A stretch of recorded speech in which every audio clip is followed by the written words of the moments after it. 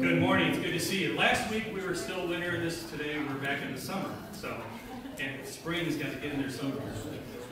We're glad to see you in this nice, cool place to, to worship God, to worship the one who created us, to worship the one who, who loves us even though we are unlovable at times, the one who sent his son Jesus to die for us so that we can be reconciled to him. We can know God. We can know forgiveness. We can know uh, what true love is, true hope is, true peace is, because of that amazing grace, that goodness that he has shown to us through Jesus. So I invite you to stand this morning as we read the scripture, talking about that, that grace that God has given to us. So let's read this together. For you are saved by grace through faith, and this is not from yourselves. It is God's gift, not from works, so that no one can boast. Ephesians 2, 8 and 9. A lot of great things up in there. We are saved through faith. It's not by our works, and God is the one who even gives us that faith so we can see Him, see the truth, and respond in faith to Jesus. So we have been saved. So let's sing this great song that we all probably know Amazing Grace. How sweet the sound.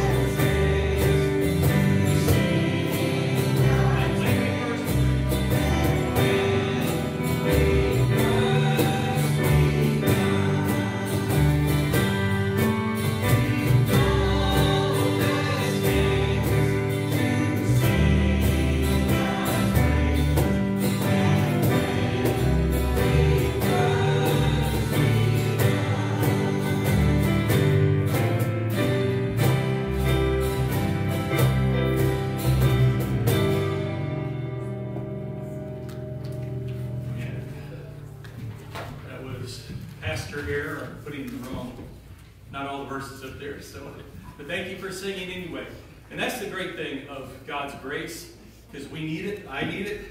We we know we need it. Um, if you don't think you need God's grace, then you need to examine yourself, because we need God's goodness. We need His mercy. We need His love. And it is only found, as you see this, in Christ alone. There's no other way. Only through Jesus Christ can we we know this.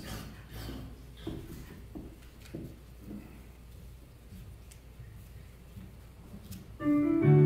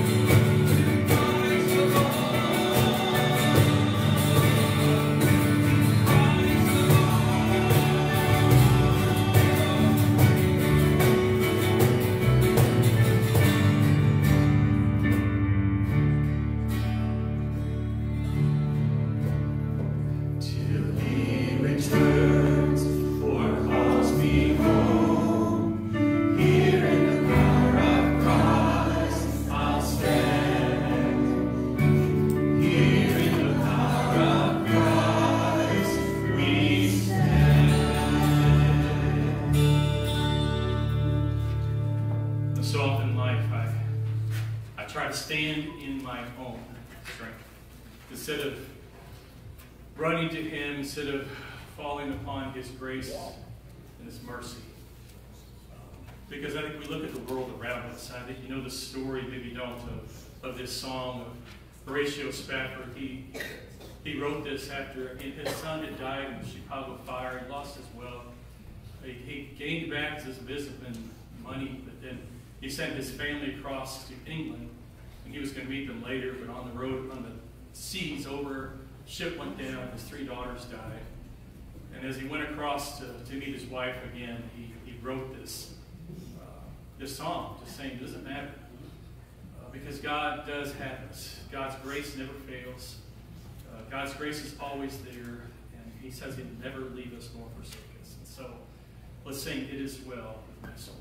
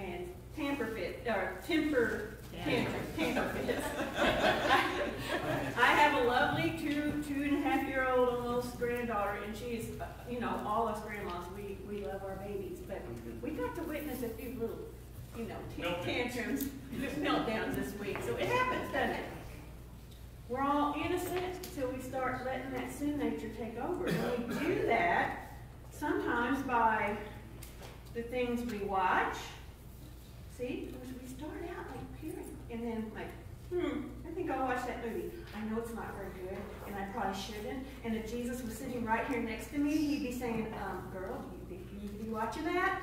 And I'd be like, well, all my friends are, so I'm going to.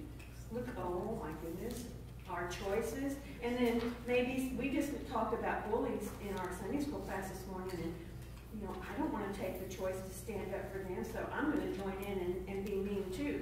Look at that. It's not looking good, is it? We kind of by our choices and the things that we're putting in our mind, by the books we read, or joining in with other people saying, how, what are other ways we dirty up our, our lives and our mind by choices we make? We lie. Oh, oh, I could dump this whole thing in here, couldn't I? So what we do then, we're like, okay, I need to do better because God says not to do that. His word says to be kind, to not lie, to not steal, to think on things that are, are good, God's word. So we start, okay, I'm going to take a little bit now. I can do this.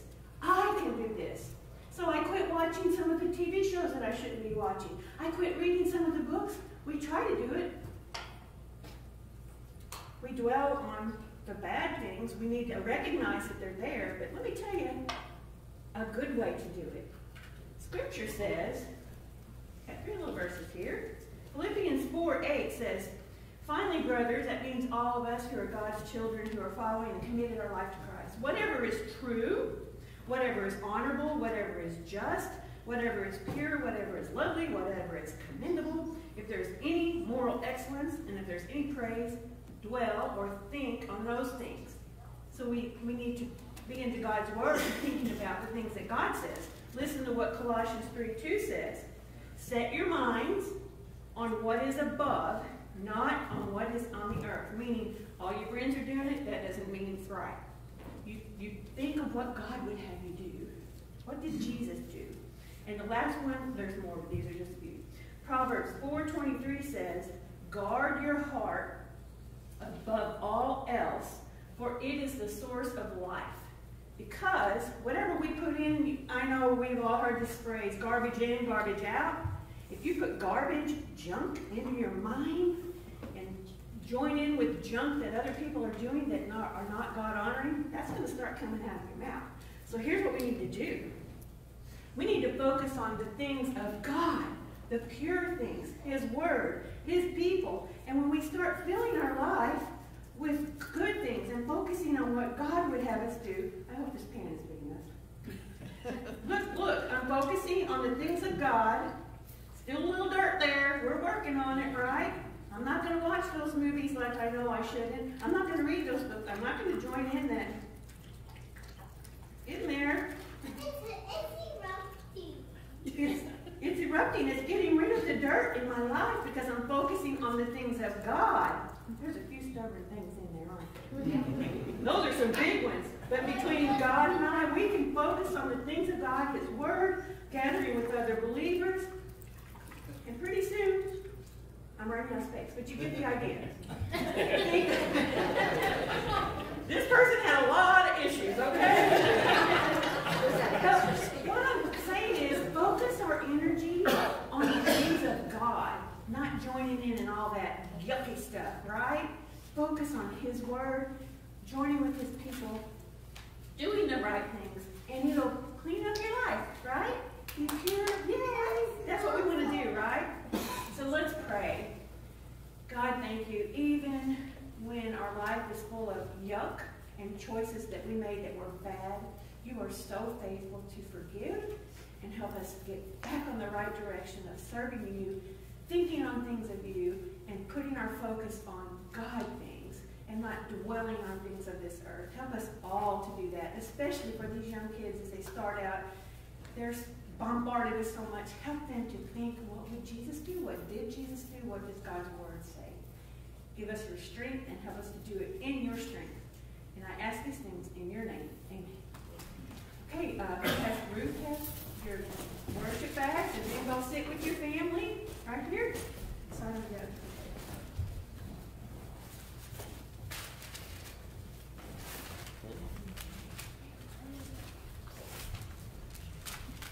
Oh, sorry, wrong one, sorry.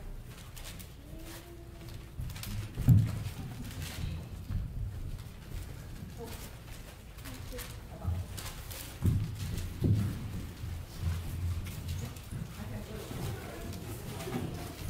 I just thinking sometimes we need people outside of our own life to come and help us get those things out. That's right.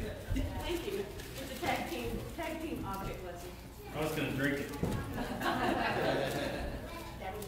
Anything. Okay, now I'm doing this, I'll stop. Pastor, I think it needs the blood of Jesus to Yes. completely wash all that away. Punishment for our sin is taken care of by the blood of Christ. We are clean before God. He calls us just to do that same thing of, of what He is uh, called us to do. We've been talking about a few weeks about beginning a new series on, on fears. Um, you know, I, I purposely picked that picture because if if you were out there at midnight, uh, how many would be kind of a little spooked if you were in the scene at this time? Yeah, it's like it's kind of scary. Well, uh, and we all have fears. I've talked about this. We sometimes downplay fears in our life. Uh, we look at other people and, and laugh at their fears without really looking at our own fears. Uh, fears uh, is defined, one definition is called an unpleasant emotion caused by the belief that someone or something is dangerous, likely to cause pain or a threat. It's a long definition, but there's a lot of things in this thing, a, a few things. Uh, it's, it's unpleasant, it's an emotion, um, it's a belief that something bad is going to happen. And that's what fears come into our life, no matter what they are. It's something unpleasant, and and it's just hard.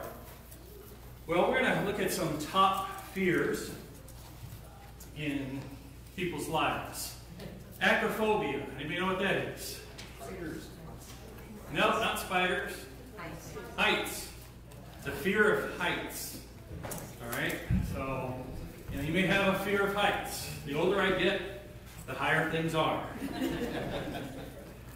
All right, how about aerophobia? Aerophobia. Fire, fear of flying, right? You have the airplanes. Fear of flying. Some people, there's no way they're going to get on a plane. All right, how about arachnophobia? Spiders. All right, how many? Yeah, I see some heads nodding back there. Some spider people. All right. Um, Ophidiophobia.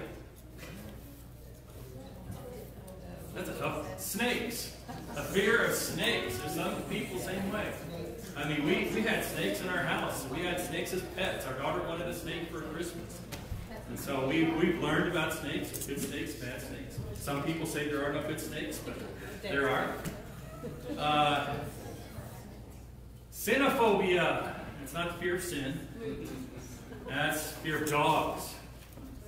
I think it'd be some sort of canine phobia, but again, I just got these off the internet. They're, they're, they're wrong. They're wrong. Uh, some people have terpanophobia. Fear of it, not turkeys.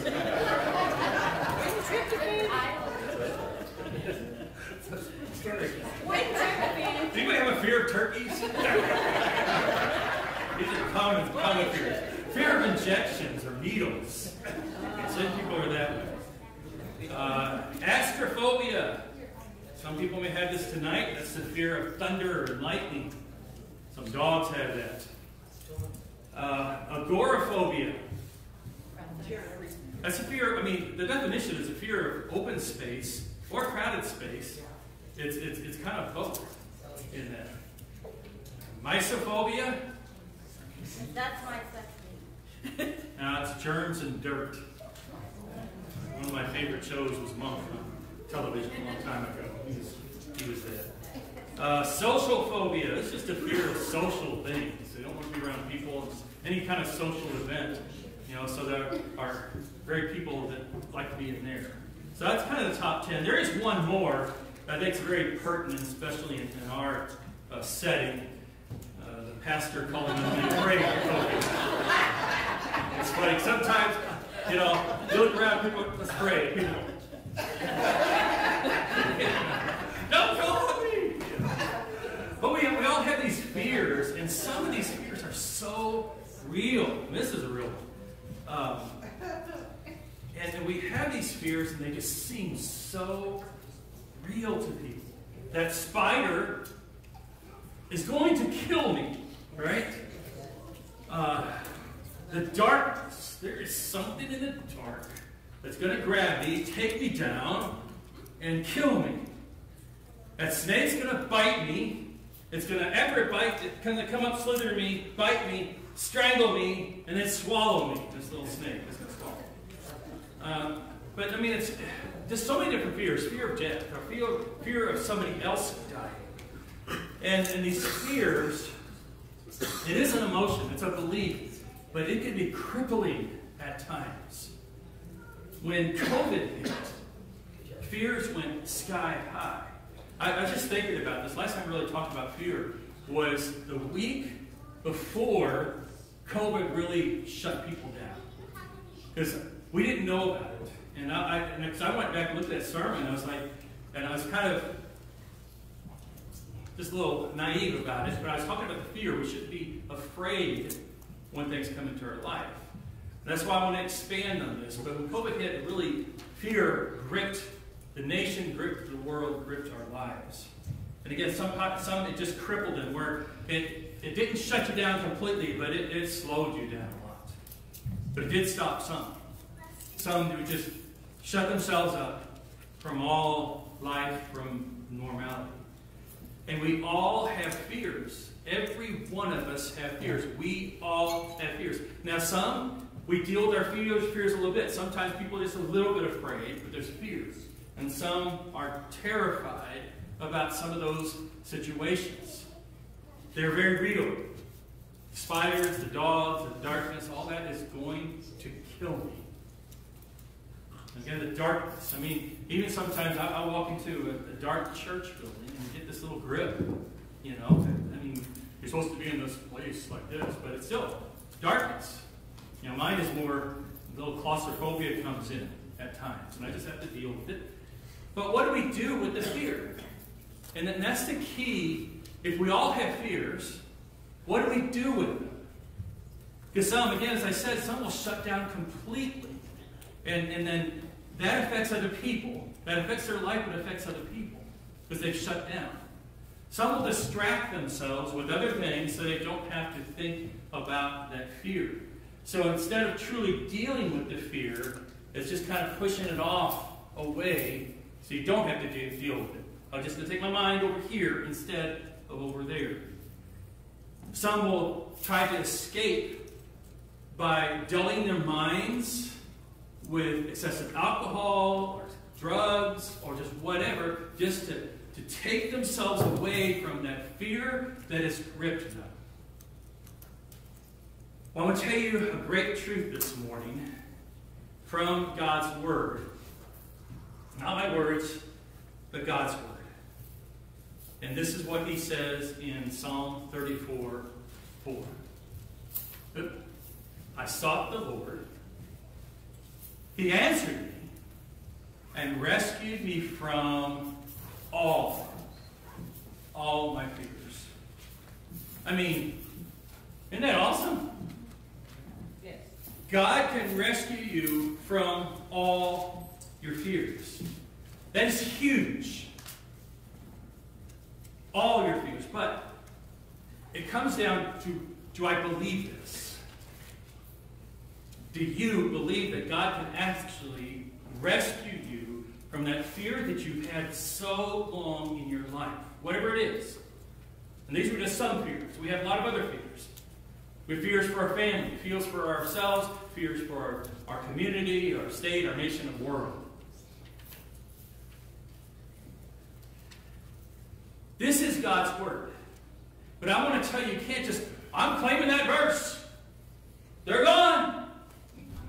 I want to see how it works for you. All right? I'm just going to ask God, rescue me. They're gone. Until the next time you see the spider or dog in darkness.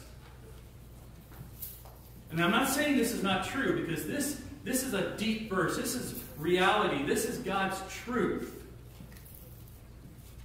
But we have to look at the fullness of God. We can't, this is a bumper sticker truth, right? That's, I'm saying, just pulling this out and say, this, this is what it is. But we have to understand where this is coming from. So we're going to look at Psalm 34. Now, Psalm 34 is a great psalm to look at all. And I'm actually going to look more at the context of the psalm next week as we look at David and the things that he went through. But going back to the first verse, he writes, I will bless the Lord at all times.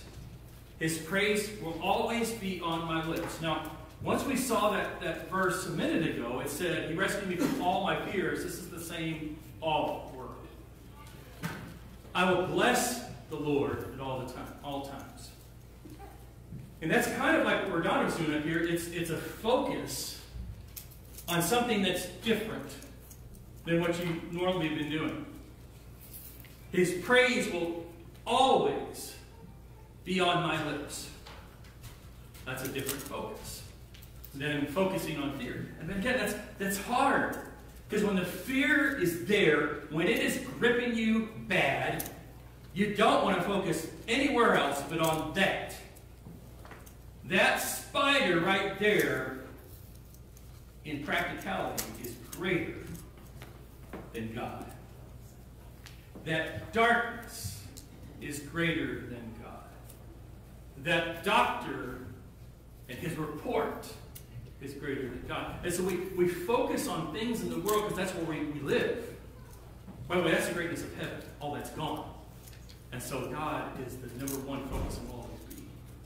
But this is, this is how we start moving our life to, to getting rescued from our fears.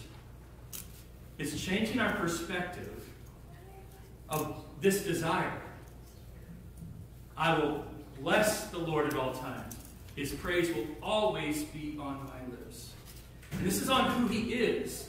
This is not talking about what he's done or will do or can do, but who he is. And we've talked about that recently, just the greatness, the goodness of God.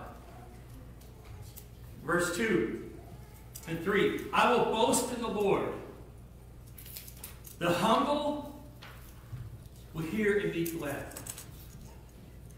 Boast in the Lord. Again, that's a different focus. And other people will, will enjoy that.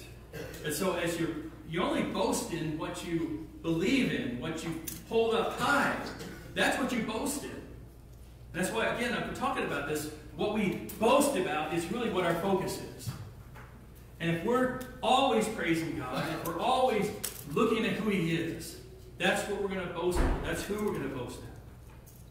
So proclaim the Lord's greatness with me. Let's us exalt His name together. Now, this is another key. All the other ones said, I, I, I. This is us. In, in gaining a help, gaining a rescue from those things that are holding us down, there is a lot of I involved. There's us involved. Because we, we come and we hear different people's testimonies of what God has been doing in their life. And some of those things that He has rescued you from. Some of that is the rescuing us as we focused upon Him from the sin that's been in our life, the sin focus. And now we're thinking about the things that are lovely and wonderful and, and God things. And we hear that from one another. We, we see people who, who've gone through some hard times physically with sicknesses, and, and God has sustained them. God has brought them through. Sometimes God has healed them, and sometimes God has taken them home. And we, we, we thank God for those things.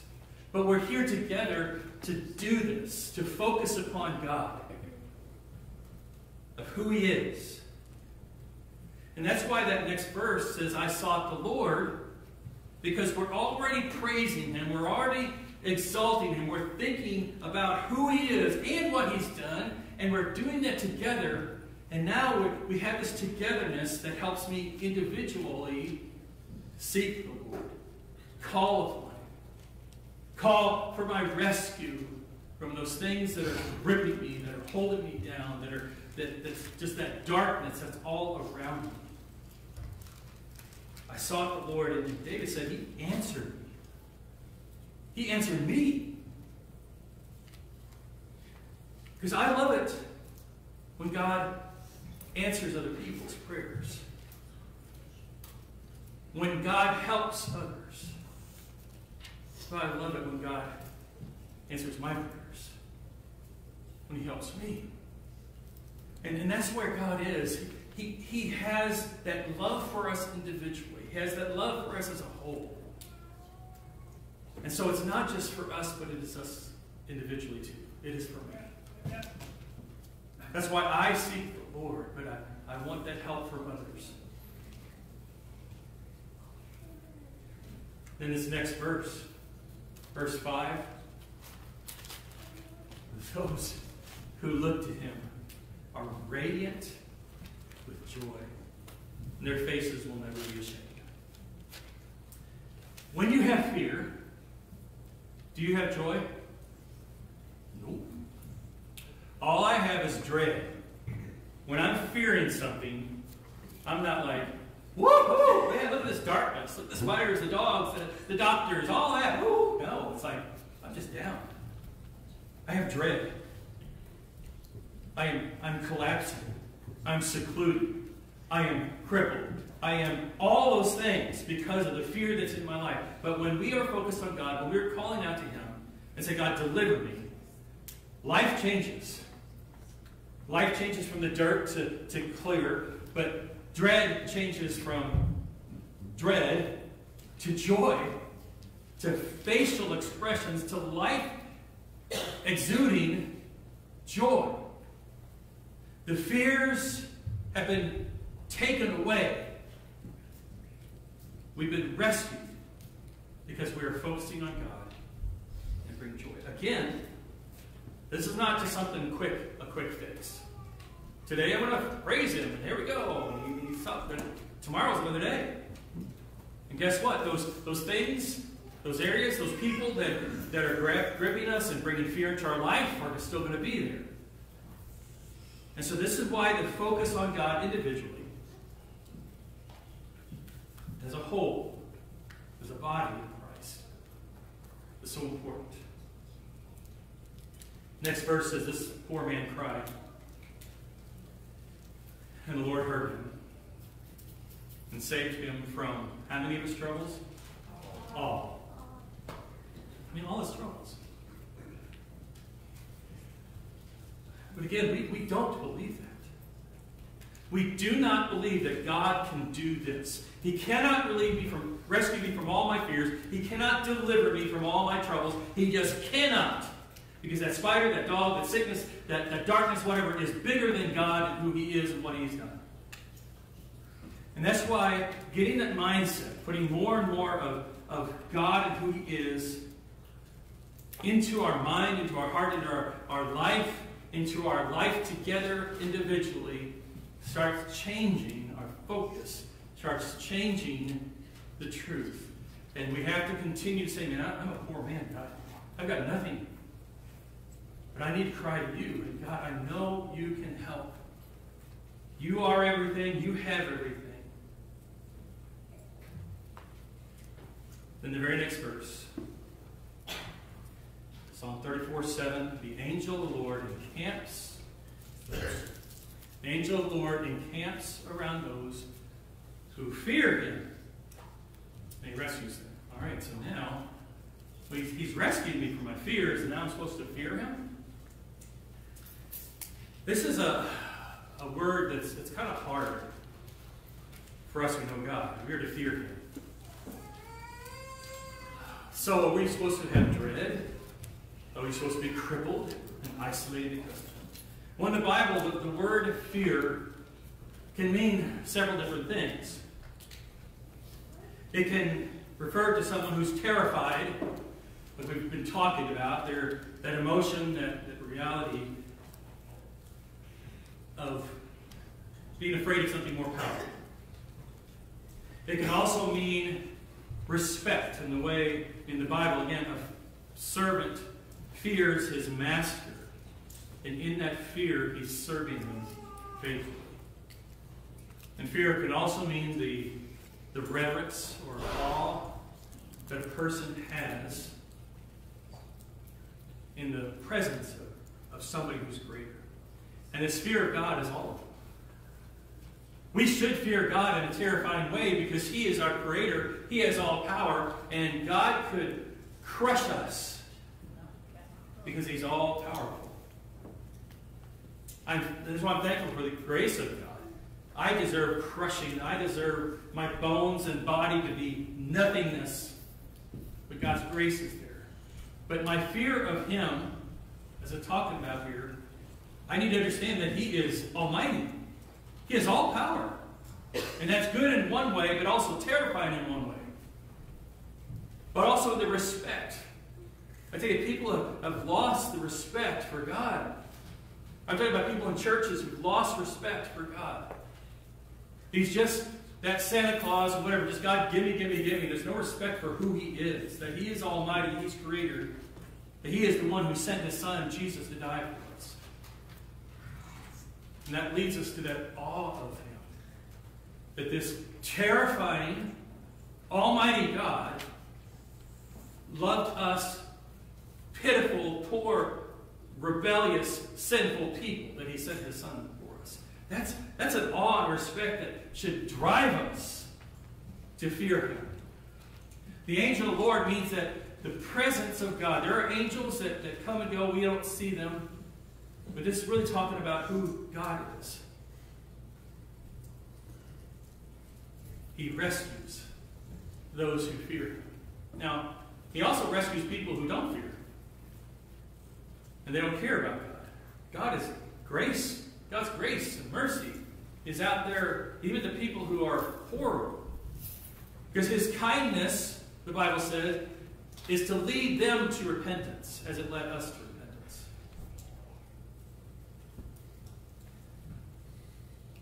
Where have you been going to deal with your fears? Who have you been listening to to deal with your fears? And I'm not talking about get rid of the people in the world. But they should be secondary to God. God has gifted people to help Christian psychologists to listen, but also use God's principles to help. But our first response should be to God. We, we fear Him. Nothing in this world can truly take away your fears, but the world says, here, try this, try this, try this. That's why Psalm 34, verse 8 Taste and see that the Lord is good. How happy, how joyful, how blessed is the person who takes refuge in Him. Taste and see. Redonda is a, a, food photographer. She cooks a lot of different things. And she says, Taste this. Yeah. Sometimes she says, Taste this asparagus. I say, No. we, we, I, we do keep trying it. It's just like, no, it's wrong. It's wrong. I have a fear of asparagus, yes. um, but tasting here is not just that. It's tasting to have more. To see who God is. To see Him and taste, to know His goodness, His greatness, to understand His rescuing you because He does rescue us. He does help us. And we, we looked at those things. We looked at the examples in the scriptures and, and around us. People who have taken refuge in Him and how joyful and blessed they are. Having this relationship with Him. And again, that's through Christ. If you confess with your mouth Jesus is Lord and believe in your heart that God is raising from the dead, you will be saved. That's that relationship. That's how you taste God. That's how you understand who He is by looking who Jesus is, what He has done for us, taking the penalty for our sins upon the cross. And then not by our works, but by grace we are saved through faith in what Jesus did. That's the beginning of the focus of God. Beginning of really overcoming fears. And I said we're going to start looking at, at different people in the Bible, the fears that they had, and how God helped them, how God rescued them from their fears in practical ways. But, but today, that first step is that focus. Where are you focused when those fears come in? And again, when sometimes we, we diminish those fears, but they're real to us. I mean, we do need to kind of respect spiders and snakes and dogs. We need to understand them and respect those. We need to respect the darkness. We need to respect all those things, but if they're coming into our life so much, that it's crippling us. And again, it's beyond those. I think more of our fears are beyond those things. We need to go to God. Say, God, help me in this. We're going to sing the song, Turn Your Eyes Upon Jesus. We sing the first verse and then we kind of played around with one more verse, singing about the Spirit, but that's, that's it turning our eyes to Jesus, finding strength in Him, our hope in Him, our rescue in Him. First, for our salvation, for our life, for our eternity, but then also everyday life. Let's pray. God, we thank you that this verse of you rescuing us from fears is true. Father, we all have them. We've all hid them. We've all been crippled by them. And Lord, it's so easy to talk about other people with their fears without dealing with our own. So, Lord, I pray that we come to you, that our eyes would be focused upon Christ. I do pray that if someone who's never committed their life to you, that this would be the day of salvation for them through faith in what Jesus did, turning from their own life, their own ways, to you but Father, I pray for all of us that we would gain more today, a focus upon you, of looking to you, of pouring your ways into our life as we seek you and ask you to rescue us. I pray this in Jesus' name. Amen. Let's stand and sing this, this hymn.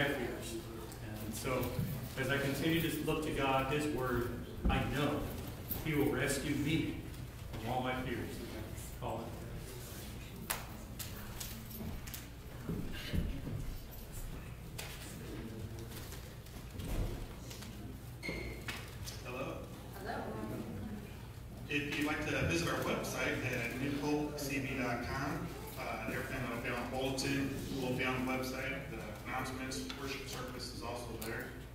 Uh, another thing you can find on there is if you need prayer. Uh, if you know, of, or if you know of somebody else who does need prayer, you, there's a site on the website. You can click on it, you do, and go from there. Or you can also put uh, fill out a paper in the back and put it in an offering box. Upcoming birthdays, we have Donna Mason on the 8th. And Well, Sue, Sue was feeling bad, so Don had to take Sue home, and so we'll be praying, praying for Sue. Also on the 8th, Spencer. And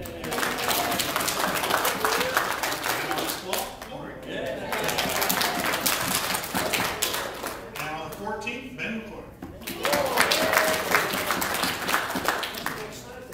Next Sunday, that's right. When you get a Sunday birthday, you get it two times. And Women's Ministry, Okay. That's today, three o'clock downstairs. We're having a baby shower for a beautiful little baby right here, their mama, Alicia, and for Aaron right up right here. So hope everybody can make it. If you didn't have a chance to buy a gift, just come. This is ladies fellowshipping together. So if you brought, if you have gifts bought, bring them. If not, we got plenty of gifts already that have been left for these ladies, and we're just gonna have a blessed time in the Lord. So join us today. We'll have food too. and on Mondays at 8.30, uh, a lot of people get together and they'll go to a Vibrant Coffee House, uh, have coffee, they have They have food, they and just get together, have fellowship, and, and uh, prayer about other things. And on Wednesday, men's prayer, they, they meet here at 8 a.m. on Wednesday morning, and then after that, they'll go and have breakfast at Flip Pancake's house. And let's see, our next thing is Wednesday night Bible study will be from 6:30 to 7:15 on God is Almighty People. And then we have a men's breakfast Saturday at 8 a.m. here.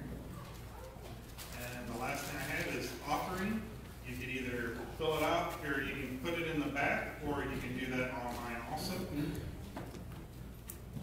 then I'll turn the rest over to John. yeah. So then young adult uh, party, fun night is this coming Friday night. Again, there's axe throwing, Kan Jam, bags, um, other things. Uh, BeanBoozled, if you know what that is. Uh, but, so those are coming. It's for 18 to 30 year olds. Bring a snack that begins with the same letter as your first name. And Emily's already gone to work, and she's like, E, E, E. What, what snack begins with E? Eggs. Eggs. Anybody? Eclairs, eclairs. That's why I told her eclairs. That's my, one of my favorites. But it's just, it's just hard. Some things are hard. My name's John. And like, that's junk food. So I say, yeah. And these are all snacks to share. There'll be other food there, but uh, all 18 to 20 year, 18 to 30 year olds uh, invited to this fun night Friday night. Um, then the next one we have Bible camp coming up. There's packets back there. Uh, these are for those who've gotten out to third grade through the 12th grade. Uh, this tells you a lot about it. What you need to do is go online, if you need help with that, to register your children. Uh, then at the end, say cash, and then, and then you don't pay online. Church uh, is all, but just don't pay online. But you got to fill out the medical form and all online for these things. If you need help, please ask. I'd love to help you with that. Then the next one is Regatta. Yeah, mark your calendars for our summer fest. People are already talking about it, and getting excited about it. It's a game theme, so there'll be just a constant reminder for those, and those of you that offered to help, I'll be getting your stuff to you, um, soon, so, yeah. All right, so the last one, next week is Mother's Day. And so we'll have a gift for all the ladies, not just mothers, for all ladies next, next month. But what we do is we take an offering for the Baptist Children's Home and Family Services. Uh, they, they've gone through a lot of changes lately, but a, a friend of mine is now the leader, Kevin Carruthers. He, he came over when we were church planting in Rock Falls. He came over and helped us with church plant for a little bit. Um, and so this can be kind of his story. But next, next Sunday, we're going to have offering envelopes out there to help this ministry uh, that, that reaches out to so many different ways. Uh, and so you'll be hearing a little bit after this. Uh, and then after the video, you'll be dismissed. But one other thing, just ask you to pray for Don and I. Uh, we're leaving for Chicago today. Last week we were gone that way, but uh, just we're Monday and Tuesday. We're we help out with the North American Mission Board in assessing new people who are going out to help start new churches around the United States. And so it's, it's really intense, but we uh, we just ask for you to pray for us and the other people who are assessing these people. We'll be back 11 o'clock Tuesday night. Um, so that's why Wednesday's all good. Uh, but I, I'll miss flips again this week, so drink coffee for me. But Huh? Oh, no, it's, yeah, whatever it is. Not flips, I'll go flips, yeah. Vibrant. All right, so get that out of the way, but, but really look at this. Um, just listen to the ministries here and then be dismissed after that.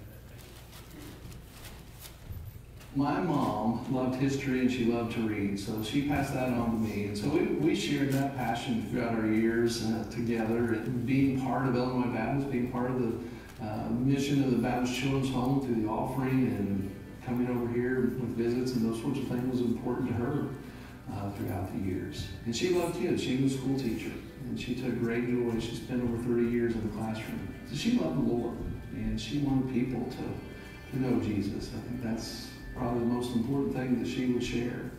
You know, you can have a lot of knowledge, but if you don't know Jesus, you don't have use that knowledge for Him and for His work, then um, it's to no avail.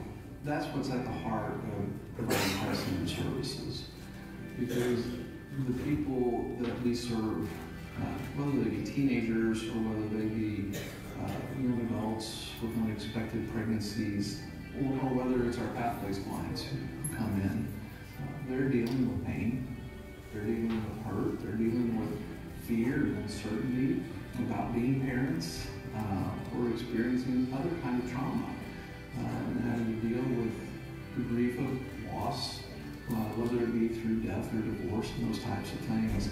And um, that's what our staff, that's that's what I hope I can bring.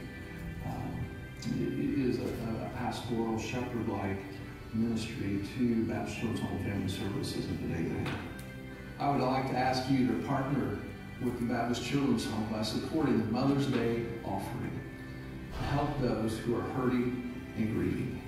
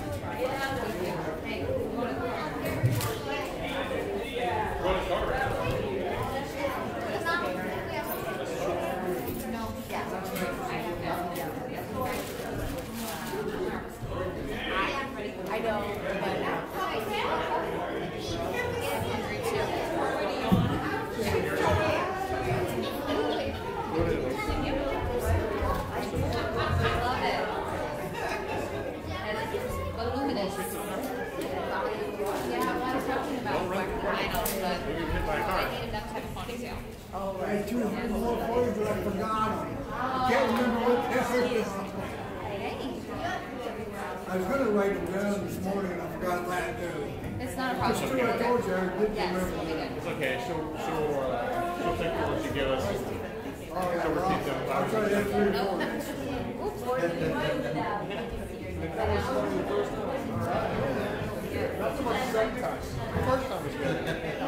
I remember those two today.